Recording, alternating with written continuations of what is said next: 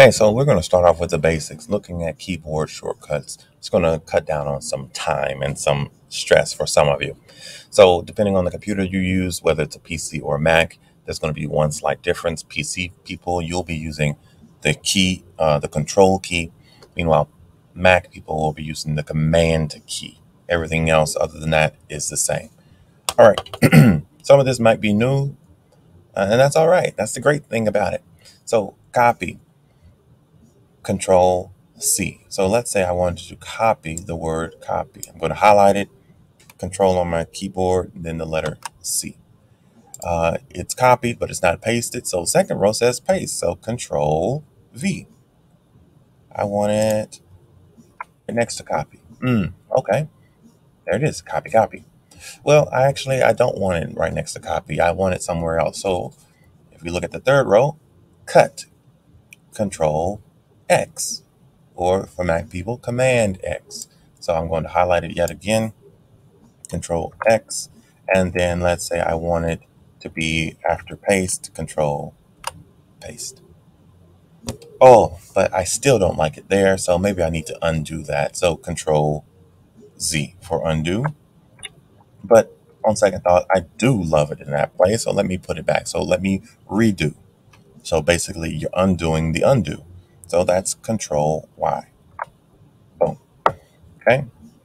But I don't want that anywhere. Backspace, delete it. Okay. So the last four, good stuff. So page break. So let's say that I wanted to get this table to start on its own page. Some of you might put push the enter key until it gets there. We're not going to do that. No, no, no, no, no. Nah, nah.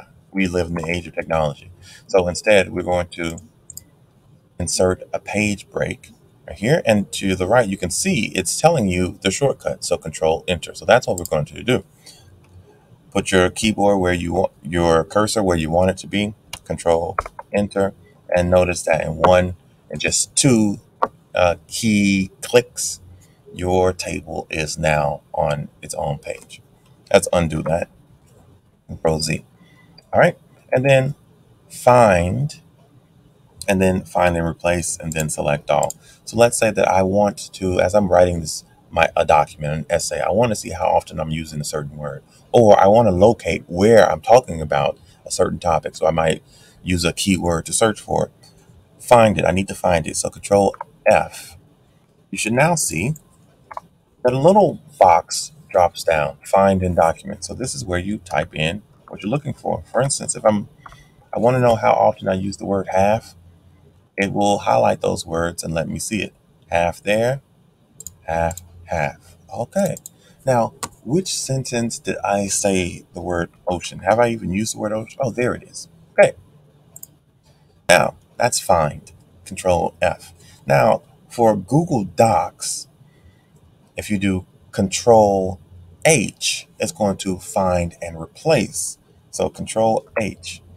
Let's say that I want to replace any use of the word ocean with the word sea. I only have one use of the word ocean. So let's go to it. It's found it. I want it replaced. Boom.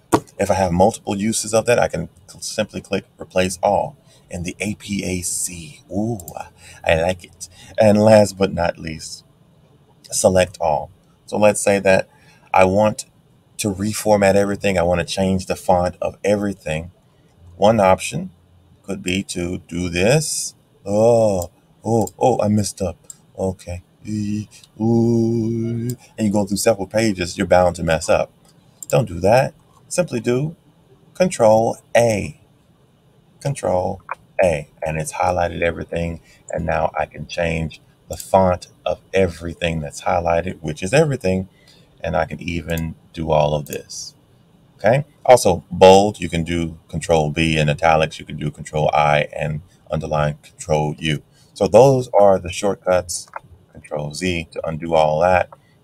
Those are the shortcuts that will save some time for you. Stay tuned for the next video as we continue to explore APA structure.